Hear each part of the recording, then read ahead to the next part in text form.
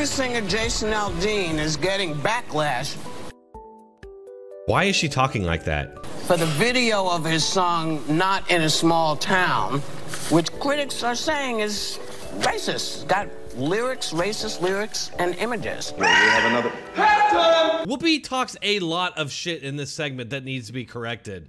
Like, one, she gets the name of the song wrong. The correct title is Try That in a Small Town. Then she claims the song has racist lyrics, even though race is never mentioned and she doesn't give a single example. Man. There are lyrics in the song, and I think, I don't think any of you have even listened to the song. You know, he talks about life in a small town and it's different, you know, and he shows these images. He's got uh, folks uh, from the Black Lives Matter movement. We have another. At no time in this video is BLM mentioned, specified, or shown. He's talking about people taking care of each other, and I find it so interesting that never occurred to Jason or the writers that that's what these folks were doing. They were taking care of the people in their town. It has been painful and difficult for Kenosha business owners and residents. Our Mary Jo Ola is live with a report on an already struggling neighborhood that was hit especially hard. Carol, we're in Kenosha's uptown neighborhood. One man describes it as the heart of the city's black community. The street, which was lined with businesses, now that you look at it today, they are all, nearly all of them, were reduced to rubble. People living in Kenosha woke up to a second day of destruction, this time centered around businesses in and around the uptown neighborhood there. Cleaning up this town of about 100,000 people. At 23rd Avenue and 63rd Street, Marcus Starks works up the block. They're burning our city down, and why? Josh Array and Lisa Davis had a view of the protests from their office, where they sell insurance and offer home health care. Four years later, business is still down by almost half.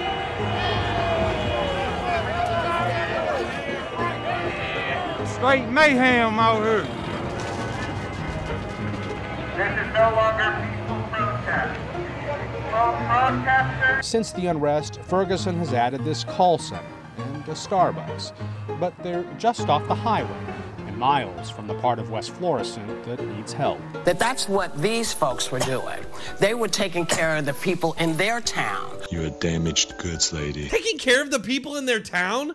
Didn't they burn down those towns? And aren't those towns still not recovered? It really just drives me nuts how they conveniently excuse left wing violence, rationalizing it as justified because of George Floyd, while completely ignoring the fact that most of these riots happened on the basis of police shootings that turned out to be justified. And just before we go any further, I think it does need to be explained that BLM and Antifa were regularly threatening suburbs and specifically white people in their homes, who these groups literally threaten with violence because of their skin color.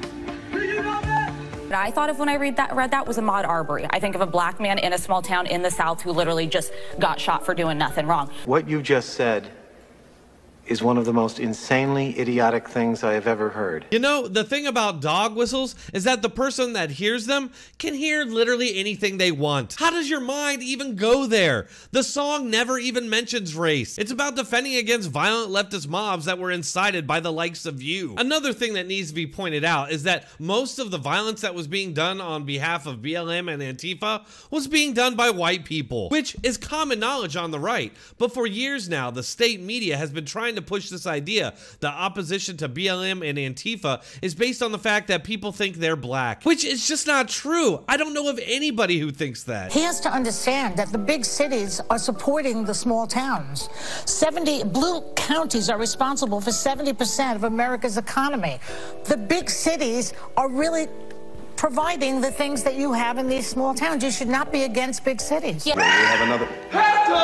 Oh my god, are you serious? Joy, do you have any idea where all that food in your bodegas comes from? Where exactly would cities be without that food? Why the hell are they attacking small towns in the first place?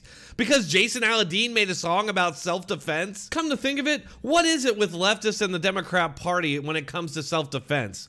There's definitely been a push over the last few years to characterize self defense as racist. Between their attacks on the First and Second Amendment, it's becoming very clear that they don't want you to have any means of defending yourself.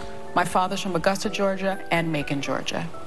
I spent many summers there. Yeah, both. I spent many summers Mm-hmm. there. It is one of the most racist places in this country. Mm-hmm. we have another. Are you serious? Hostin never presents any evidence to back up her claims. And the city has been a majority black for some time now. In the last census, black people were over 67% of the city. Yeah, the reality is literally the exact opposite. The stats don't lie. But that's exactly the job of these Orwellian communist hacks to create alternative realities to suit their political agenda. All right, folks, that's all I have for that one. Thanks for watching. As usual, if you enjoyed it, hit that like button, share, subscribe, and make sure to leave a comment. Have a great weekend.